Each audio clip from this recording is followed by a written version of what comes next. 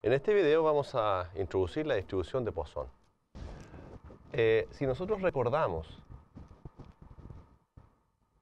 hemos estudiado la distribución, ¿se recuerdan? De Bernoulli, la distribución binomial, la distribución binomial negativa ah, y la distribución geométrica, por ejemplo.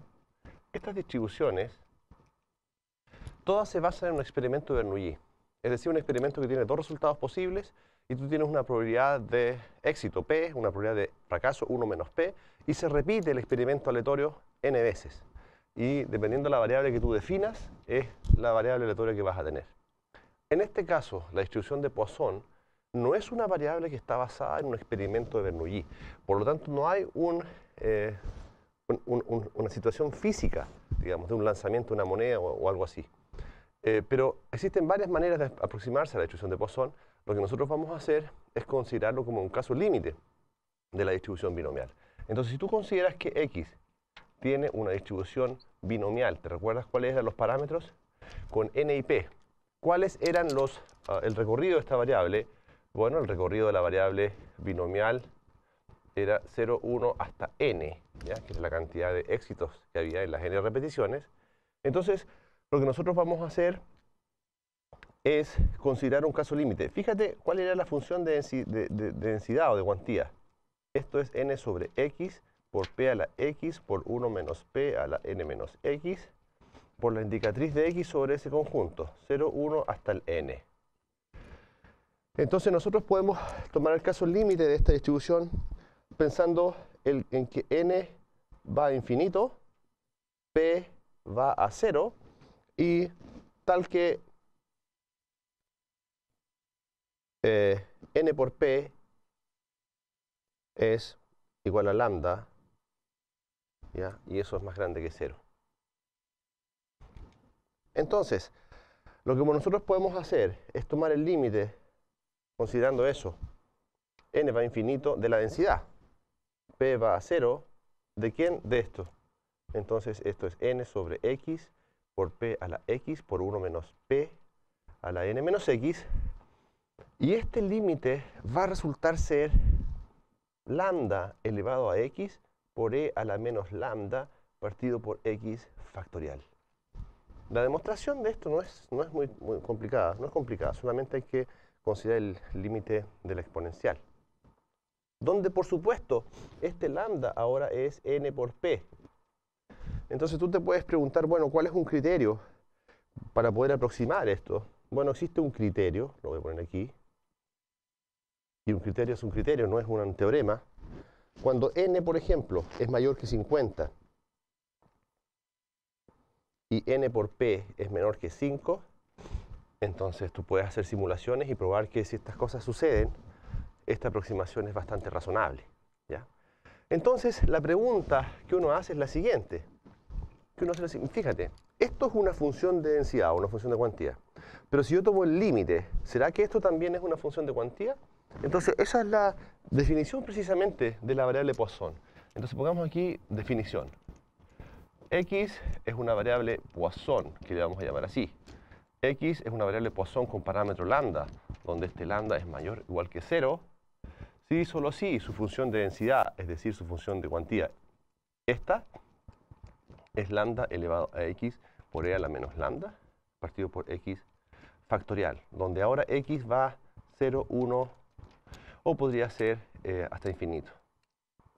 Lambda, eh, lambda elevado a x por e a la menos lambda partido por x. Te recuerdo que cuando x vale 0, este x factorial vale 1. Entonces, en efecto, podríamos probar que esto es una función de densidad de probabilidad. Eh, por ejemplo, claramente esta f de x es siempre mayor que 0 para todo x. Porque todos los términos que hay acá son positivos. Y segundo, ¿qué tendríamos que probar? Que la suma desde x igual 0 hasta infinito de esta f de x vale 1. Pero esta suma, si tú reemplazas acá la función de densidad, te das cuenta que esta exponencial no depende del índice de la suma. Entonces esto tú lo puedes dejar fuera e a la menos lambda, y la suma desde x igual 0 hasta infinito de lambda elevado a x eh, partido por x factorial. Eso es la exponencial. No sé si te recuerdas, no sé si te recuerdas este resultado desde eh, mate 2. Este resultado de n igual 0 hasta infinito de x elevado a n partido por n factorial. Esto recuerdas que es a la x. Entonces, en este caso, esta sumatoria al infinito no es otra cosa que e elevado a lambda, ¿te das cuenta? A la base. Y es una serie convergente, por tanto, eso es elevado a lambda por e elevado a lambda, y eso, en efecto, es 1. Por lo tanto, esta es una función eh, de densidad de probabilidad o de cuantía, si tú quieres, porque la variable es discreta. Entonces le pusimos función de cuantía cuando la variable era discreta. ¿Cuándo se usa la distribución de Poisson?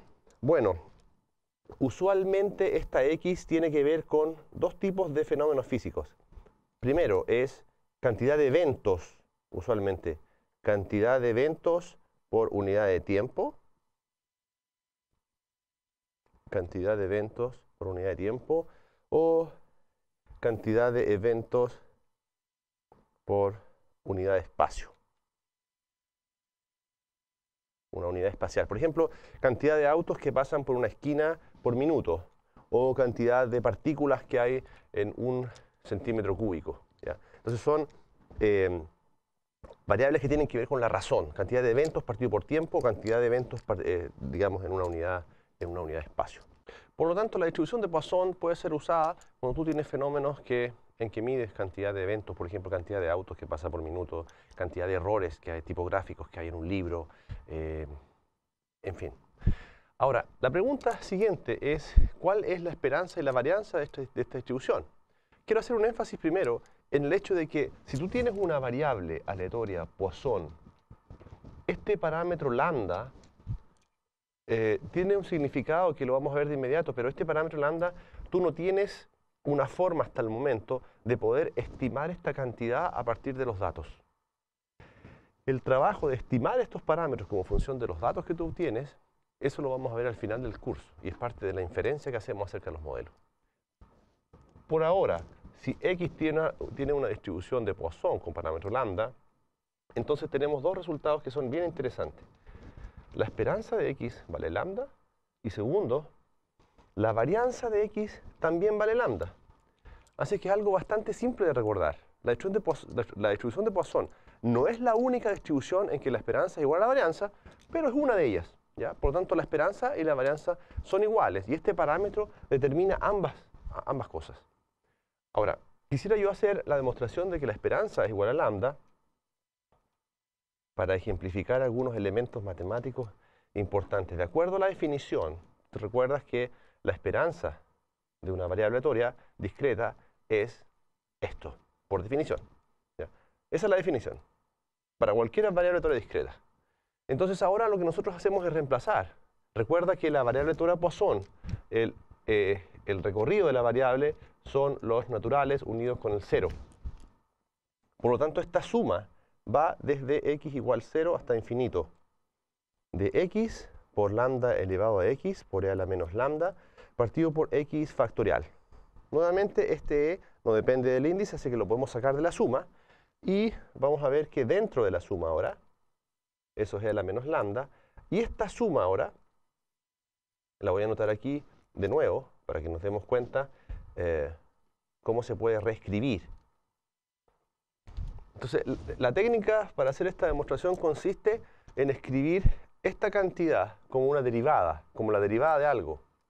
Entonces, eso ya alguna vez lo hicimos. Esto es e a la menos lambda. Y em, fíjate que esto es la suma, desde x igual 0 hasta infinito, eh, y esto no es otra cosa que la derivada respecto al lambda de lambda elevado a x. Ah, y aquí me quedó 1 partido por x factorial. Pero cuando uno hace lambda elevado a x, te queda x por lambda elevado a x menos 1. O sea, hay 1 partido por lambda ahí, que hay que compensarlo. Por lo tanto, lo que nosotros podríamos hacer es poner aquí un lambda, ¿no? Poner un lambda. Por lo tanto, ponemos un lambda acá afuera. Entonces, cuando esto quede x por lambda elevado a x menos 1, ese lambda compensa. ¿ya? ¿ok? De, de tal manera que si ahora, como la serie es convergente, cambiamos la derivada con la suma, esto nos queda e a la menos lambda por lambda por la derivada respecto a lambda de la suma de x igual 0 hasta infinito de lambda elevado a x partido por x factorial. Y esta es la misma suma que nosotros usamos para eh, probar que esto es una función de densidad de probabilidad. Finalmente, esto nos queda e a la menos lambda por lambda, y esta suma, de acuerdo a la serie, ya, a la serie de potencias de la exponencial es e elevado a lambda. Por lo tanto, a lambda. ¿ya? Por lo tanto, esto es e elevado a lambda. Y finalmente la esperanza, entonces, vale lambda. Por lo tanto, de aquí en adelante, eh, este parámetro lambda es el promedio. ¿Te das cuenta? Es el promedio. Es decir, si tu variable es cantidad de autos que pasa por minuto, este lambda es el promedio de autos que pasa por minuto. Que ese dato es muy importante. De la misma manera, entonces nosotros podemos similarmente, podemos probar usando el mismo tipo de argumento que la esperanza de x cuadrado, en este caso, es lambda más lambda cuadrado. ¿Ya? Por lo tanto, la varianza, de acuerdo a la identidad fundamental, ¿cierto?, de la, de la esperanza y las varianzas, es esta cantidad, lambda más lambda cuadrado, menos la esperanza de x, que es lambda al cuadrado, es eso.